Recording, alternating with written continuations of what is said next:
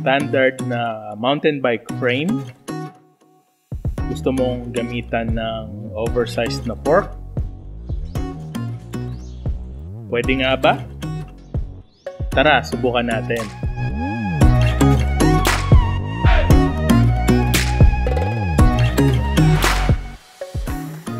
Oversized fork need ng oversized head parts. Ang mga common na headset available sa atin ay 34mm at 44mm. Ito ang 34mm outside diameter na kasya ang 1 and 1 8 or 28.6mm na steel tube.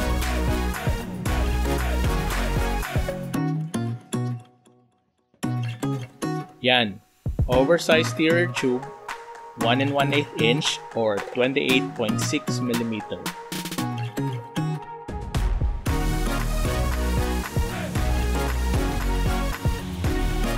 Ang standard mountain bike frame ay may head tube na nasa 34 mm approximately ang outside diameter at 30 mm ang inside diameter.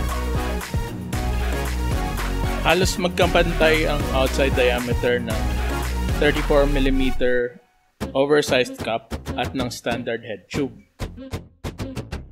So kung meron lang tayong 34mm inner diameter na tubo, pwede nang pang-coupling device. Common size ng pipes na pwede o pwedeng gawan ng paraan para gumana sa common oversized headsets natin ay ang 40mm pipe at ang 47mm pipe. Ito ang 47mm pipe na may 44mm inner diameter na wala na tayong i-edit, swak na kagad ang 44mm headset dito. Kaso, masyadong maluwag kumpara sa 40mm.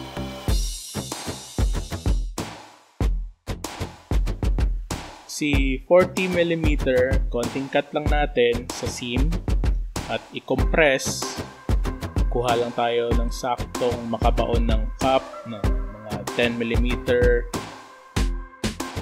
at ang head tube ganun din 10mm. Uh, gawin na nating 1 inch para may allowance.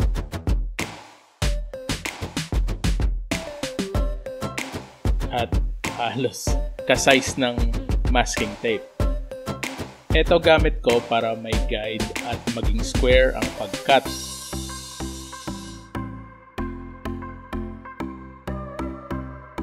Make sure na square ang pagkat ng tube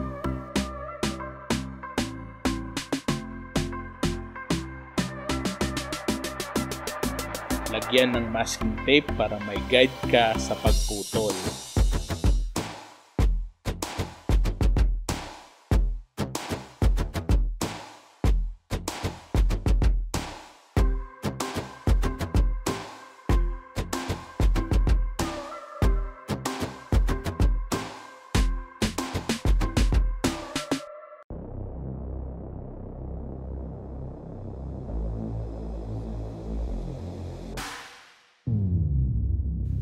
Sa pagputol, pwedeng gumawit ng angle grinder o manual na hacksaw. Mas prefer ko ang grinder. Bago magputol, gumamit ng proteksyon, gloves at eye shield.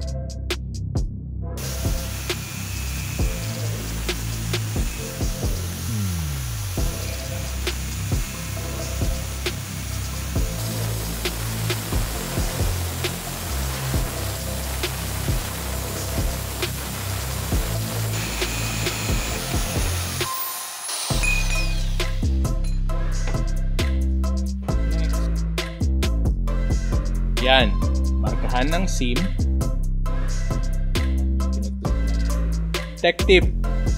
Gumamit ng angle bar para may secure na tagahawak ng pyesa at may straight edge na guide para tuwid ang marka.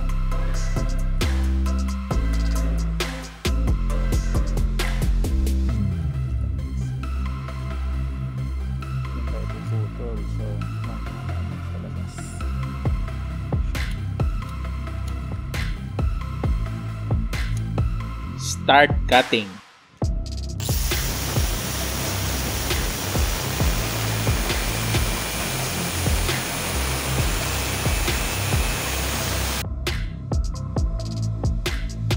Ayan, nakat na.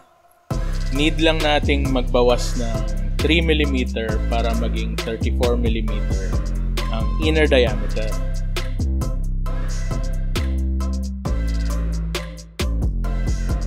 Pero onti-unti lang ang pagbawas.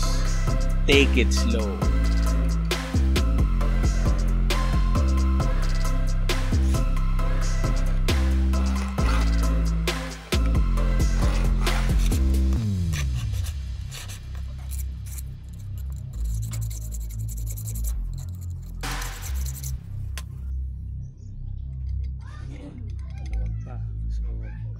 tuloy-tuloy lang yung kikil.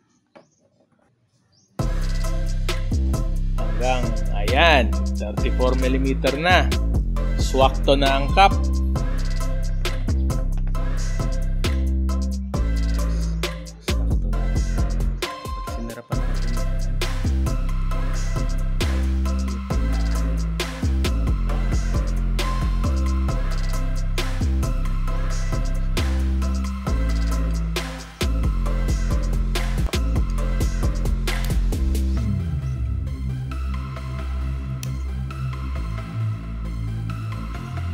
Try natin sa head.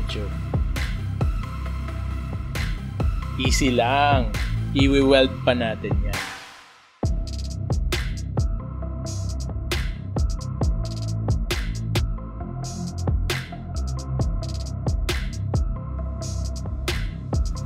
Trim mo lang para mag-match yung top tube, ganun din sa down tube.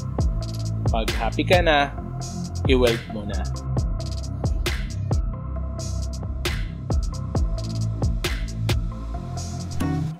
Lagyan ng bevel para maganda ang kapit ng welding.